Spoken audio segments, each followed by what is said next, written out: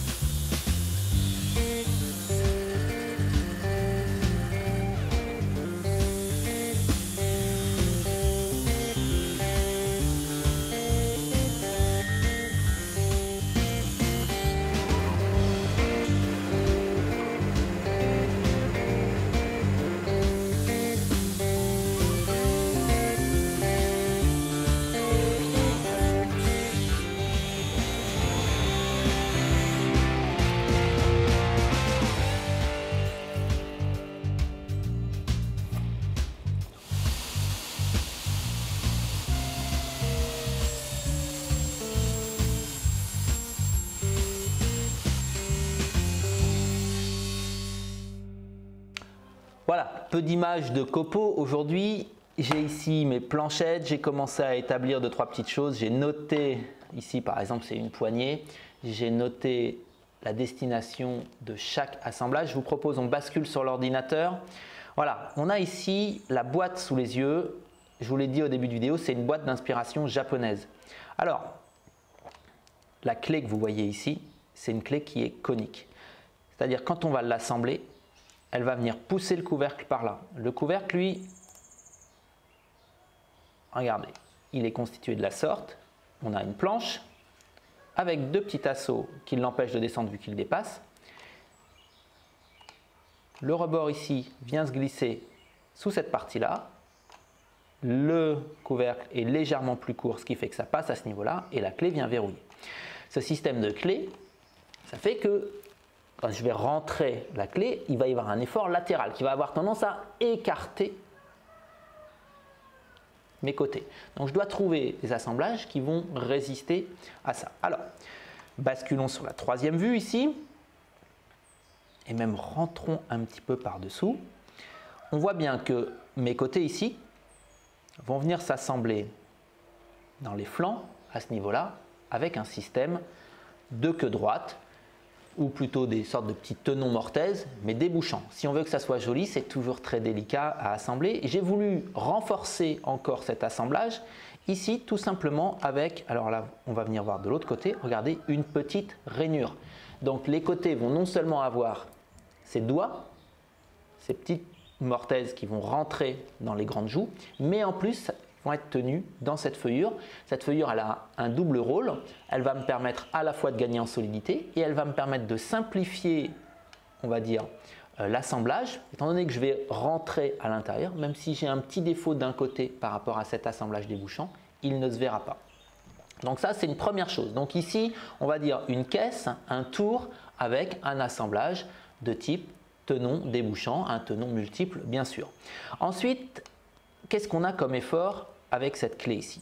On a vu que la clé avait tendance à repousser, écarter, et la clé, elle va être en appui sur cette barre ici. Alors si on revient un petit peu en arrière à ce niveau-là, cette barre, elle est attachée ici sur la poignée. Alors, cette barre ici, elle va avoir tendance à vouloir monter et à vouloir être écartée. Monter à cause de la forme de la clé, légèrement biseautée en queue d'aronde pour qu'elle soit maintenue. Donc je dois trouver un moyen de verrouiller dans ces deux axes. Verrouiller dans l'axe de l'écartement, ça va se faire à ce niveau-là, dans ce petit tenon qui va venir, regardez, passer là sur la joue de côté. Cette joue de côté, elle reçoit donc des tenons, des mortaises pardon, étroites et celle du haut est un peu plus large à cause de la poignée qui vient renforcer. La poignée, elle aura tendance à monter, donc regardez, à la fois dans l'extrémité de la boîte et dans la poignée, j'ai fait une petite rainure ici qui va venir recevoir une petite baguette, un petit peu à la manière d'une clavette quand on fait de la mécanique. Ensuite, je me rends compte que je ne l'ai pas encore dessiné, mais le côté ici va être légèrement plus haut et va venir rentrer dans le dessus ici. Ce qui fait que on aura encore un verrouillage qui va nous empêcher d'écarter. Donc on a plusieurs systèmes qui se cumulent pour résister, même sans colle, aux différents efforts. J'ai ajouté une petite, euh, on va dire, frioriture ces clés qui sont là, si on les observe, on a une première queue d'aronde en haut et une deuxième queue d'aronde en bas. Je vais pouvoir prendre cette clé, venir la glisser ici. Hop, je vais passer en affichage transparent. Donc, hop, regardez.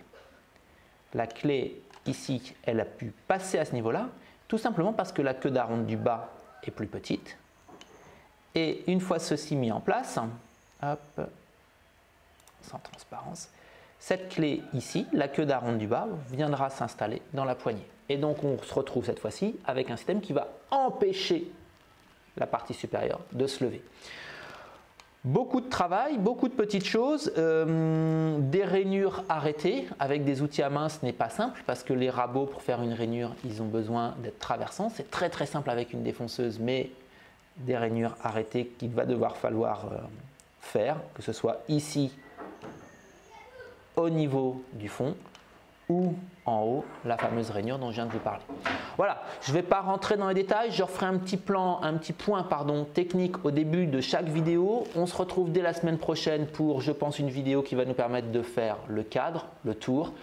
Et après, il m'est difficile encore de savoir combien il y aura d'épisodes vu la quantité de travail uniquement avec les outils à main, je pense qu'il y en a pour quelques temps.